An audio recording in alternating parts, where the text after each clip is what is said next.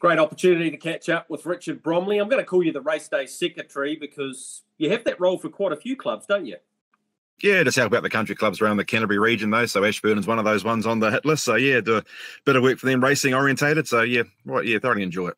All right, looking forward to this Sunday because it's got a feel to it of the old Queen's birthday Monday with races like the Sapling Stakes and a couple of new ones. Richard, uh, there's some depth to some of the support races too, so it should be a good program.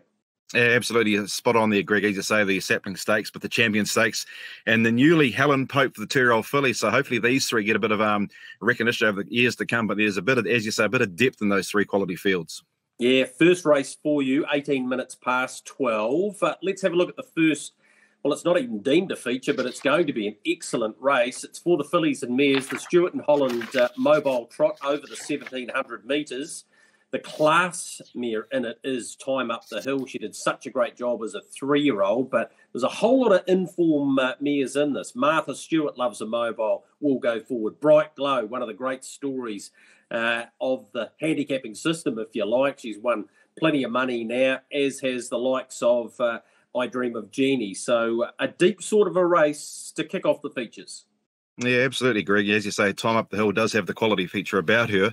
Uh, Crusher Collins and Lyndon Bonds, they will be very, very hard to, well, not hard to beat, but be right in the recognition as well with the outside draw as well. But as you say, Bright Glow, she's a, she's tough mare. She'll be right in the mix as well. But um, it'll be very hard to go past the Michael Ward train, Time Up the Hill with Katie Cox doing the driving. As you say, race number three on the 10 race car. But um, she's on top for me, Time Up the Hill.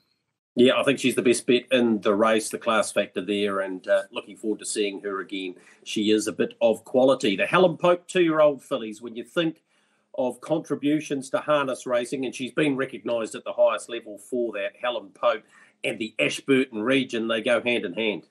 Oh, absolutely. I mean, Helen Pope, she's a very character. You, you get to have a yarn with her, but she's um an icon down the Ashburton sort of area and have that race named after her. She'll be wrapped. And um, there's only five fillies in there, but it's a good five, too. There's a lot of depth in with those five fillies to contest race number four, the Helen Pope two year old filly stakes.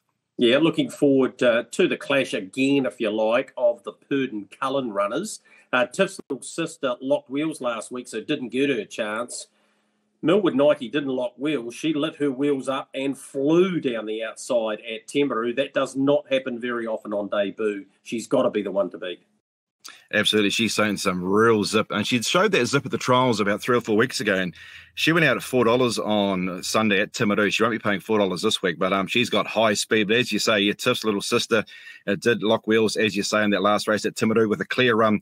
Uh, she's going to uh, provide very stiff opposition uh, for Millwood Nike. I expect her to be favourite, Millwood Nike, and she'll be very, very tough to bowl. All right, smallish field for the first edition of that contest.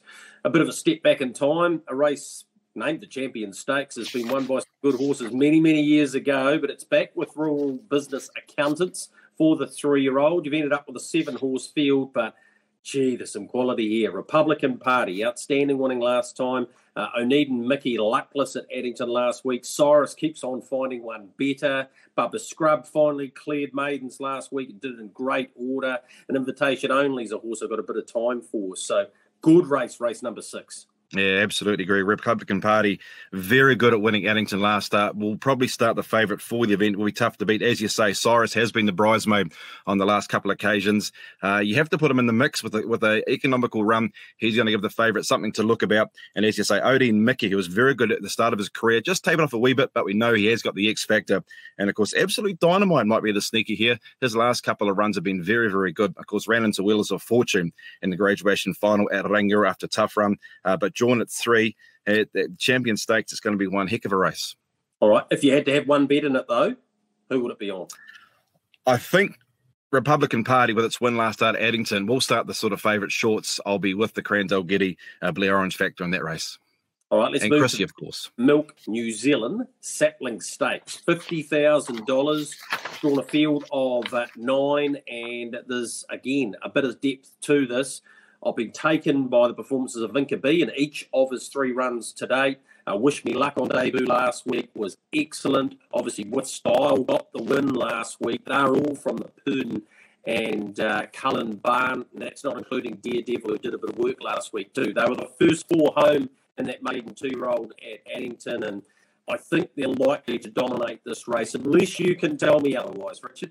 Uh, to uh, tend to agree to you with Greg here, because um, with style capitalised on a very good run, Addington to score uh, last week. Vinkerby, as you say, did a bit of work in the running. Uh, this run was very, very good. The draws are sort of reversed this time, so you expect Vink to be to be one of the favourites for this race and be very, very hard to beat. But Daredevil was very good, and of course, uh, um, Wish Me Luck wasn't that far away as well. The other ones in the race, Trial Boss has been trialling up very well for Terry McMillan at Ashburton, and with a good run, could be the Smoky. Even the real McCoy showed a bit of gate speed off the trails yesterday out of Rangiora and fought on quite close. It was a 56 and 26 for the last sectionals in that two year old race, uh, with uh, Boris Ciccone uh, winning that race as well. So the first starters, keep an eye on them. They won't be far away.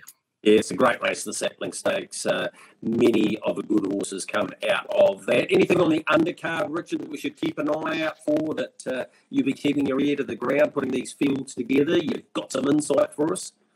Do like Morrissey, but in race number seven, hit the line really well at Timaru on Sunday. Has drawn one second row, so might have a few traffic problems. But if it gets clear air, uh, the Gerard O'Reilly for the Dunns will be very, very tough to beat in race number seven. And Podaki Reactor in the last uh, has been well supported last couple of runs. Tim Williams for, of course, Grant Payne. Not a bad draw, but I reckon that's each way value in the last as well. Podaki Reactor. All right, excellent program there Sunday. I'm sure it'll attract a lot of attention, particularly with those feature races. Uh, Richard, thanks for your time. Looking forward to the first getting underway at 18 minutes past 12. That's Ashburton on Sunday.